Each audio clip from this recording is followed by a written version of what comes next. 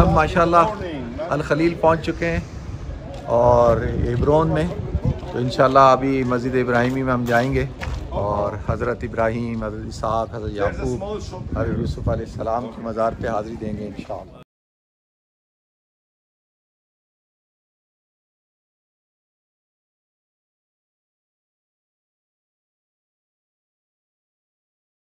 Celebration है और माशाल्लाह आज पूरा हिब्रोन के मुसलमानों को इजाज़त है कि वो मस्जिद इब्राहिमी की ज़्यारत कर सकें। और आप देख रहे हैं कैसे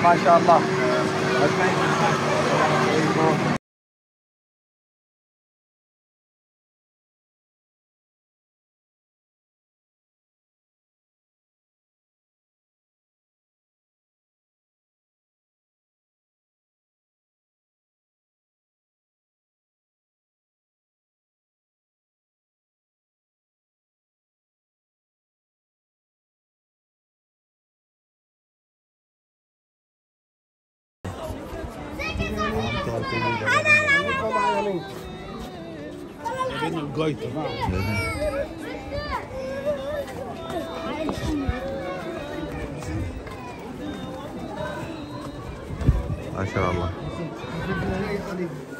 ये बना दिया गया They put everything Jewish yeah. on the side. इसको आज इन्होंने अपनी सारी चीज़ों को साइड पे किया हुआ है ये जगह जो है बीच के पास है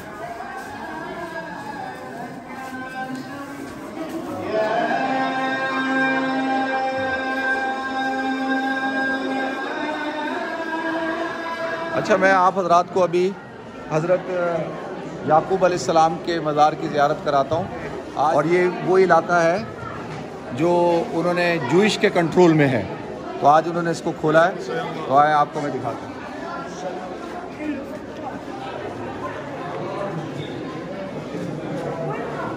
तो ये हज़रत याकूब अलैहिस्सलाम का मज़ार है और जो आधा हिस्सा सनीगॉक है तो ये सनीगॉक के हिस्से में वैसे पहले तो मस्जिद इब्राहिमी थी तो आप देख सकते हैं। ये हज़रत याकूब अलैहिस्सलाम सैदना याकूब अलैहिस्सलाम और आप जो है वो हज़रत इसहाक अलैहिस्सलाम के, की नस्ल से हैं, उनके साहबजादे तो ये नादिन ये सैदा नायका रज़ी अल्लाह तह का मकाम है।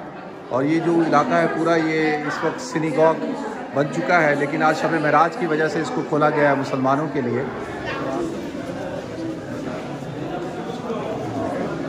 ये साइड हमेशा जूश के पास है। उन्होंने इसको कब्ज़ा किया हुआ है। अच्छा नाजिन आए मैं आपको यूसुफ़ अलैहिस्सलाम के मज़ार की ज़्यारत करा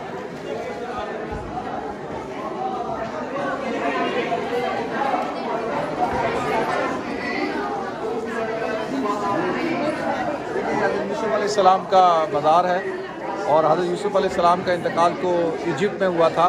जब हज़रत मूसा अलैहिस्सलाम वहाँ से आए हैं बनी इसराइल को लेके तो साथ इनकी जो मैत थी बॉडी उसको भी लेके आए थे मकाम सैदना इब्राहीम अलैहिस्सलाम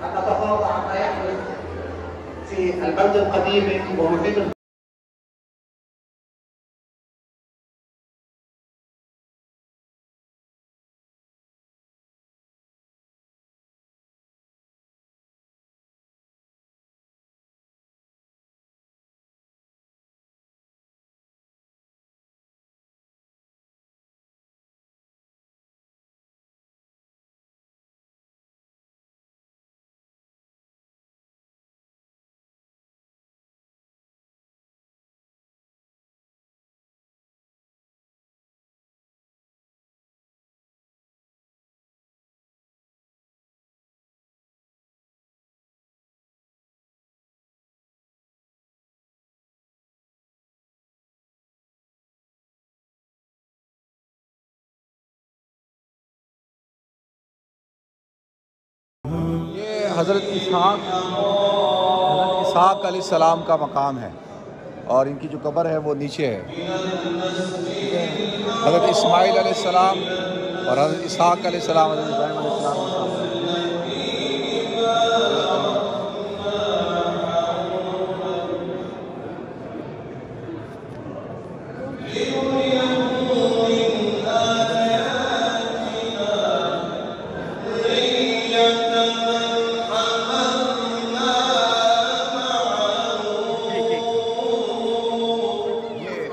माशाल्लाह आप ये देख रहे हैं।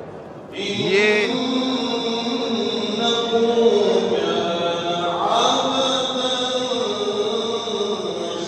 ये मेंबर सलाहुद्दीन अयूबी अलैह। माशाल्लाह।